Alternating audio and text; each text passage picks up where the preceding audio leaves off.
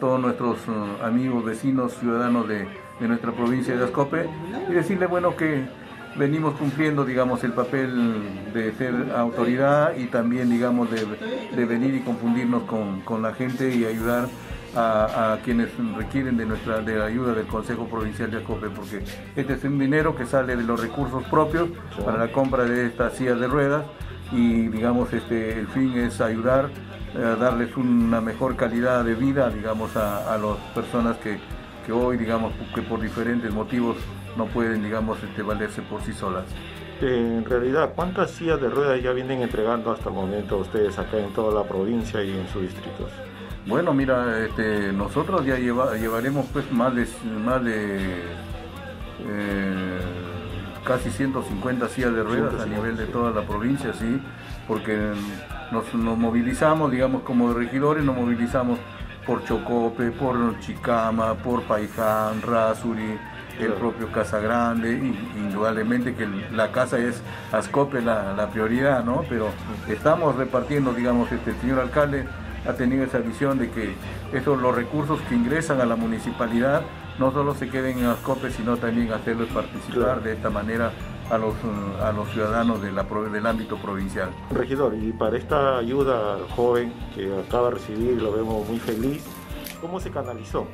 Bueno, este, esta, esta ayuda que hoy día nos ves acá, digamos, eh, lo hemos, eh, estamos cumpliendo en base a un requerimiento de nuestro amigo Coquito, digamos, este, que es presidente o es miembro de la, de la Asociación de Minusválidos de acá de Chicama, ¿no? Y, y entonces a través de él, digamos, llega la necesidad de poder, de poder digamos, ayudar y hoy estamos haciéndonos presentes, digamos, este, para, para decir este, tu necesidad, tu requerimiento, ya estamos cumpliéndolo, porque esa es la función nuestra, digamos, de ayuda. Claro, básicamente son aparatos biomecánicos, ¿no? Que están ustedes siempre dando ese apoyo social a las sí, personas que... digamos, en estos casos, sillas de ruedas, hay en otros casos también andadores y bastones también para, la, para las personas que, que requieran. O sea, esos son los tres cositas que nosotros, digamos, a través de los meses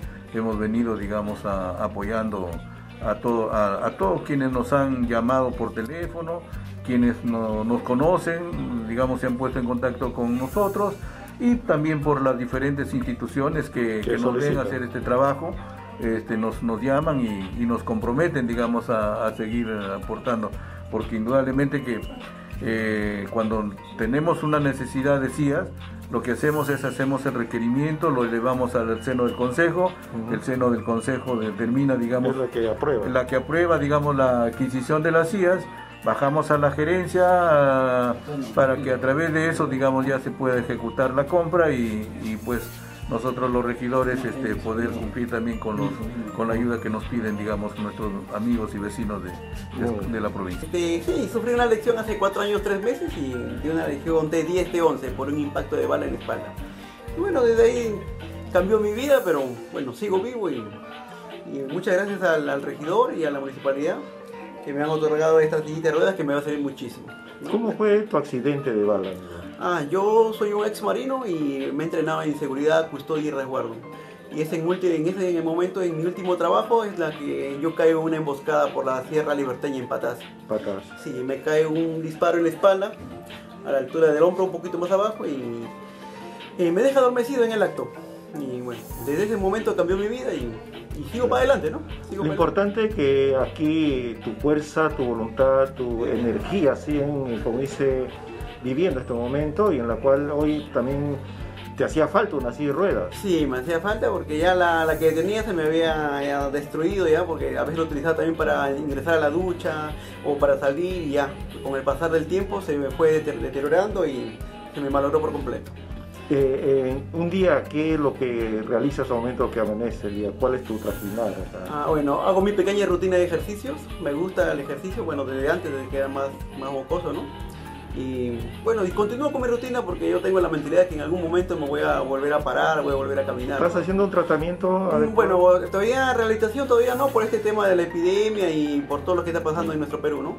Pero sí, más adelante yo pienso, por el seguro, pienso asistir a un, a una, un centro de rehabilitación para ir mejorándome, ¿no?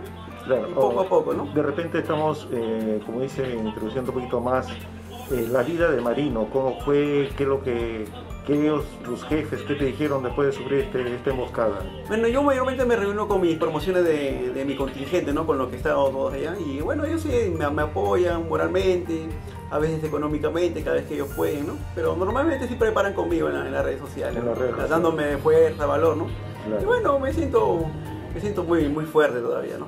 Claro, es lo más importante, ¿no? Esa, esa vitalidad, Claro. es para poder este, seguir, como dice aquí, dándote gracias a Dios, más que todo que estás con esa salud. Esperemos pues que tu rehabilitación muy pronto se vea. Sí, pues es así. Este, yo creo que con mi, mi propia fuerza de voluntad, con a- apoyo de las buenas personas y sobre todo de mi, mi misma fuerza de voluntad, ¿no? que yo tengo que salir adelante y yo sé que lo voy La a lograr. familia ¿no? siempre está Sí, pendiente de ti, también, lógicamente. que es muy fundamental para También ti. muy fundamental, claro.